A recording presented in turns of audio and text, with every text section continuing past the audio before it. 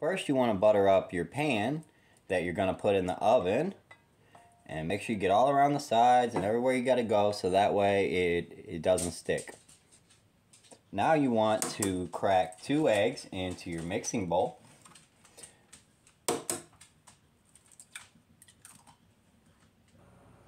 Now you want to add one cup of your favorite pancake mix.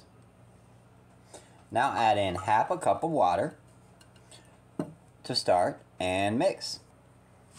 Now you want to add in a splash of vanilla, little splash splash, and I have a mixture of cinnamon and sugar and brown sugar right here and I'm going to add a nice little kind of to your taste you know but you want to add a good amount because you want it to be all in there. Mix again. Now you pour your cake mix into your bowl. Not really or not your bowl but your your cooking pan.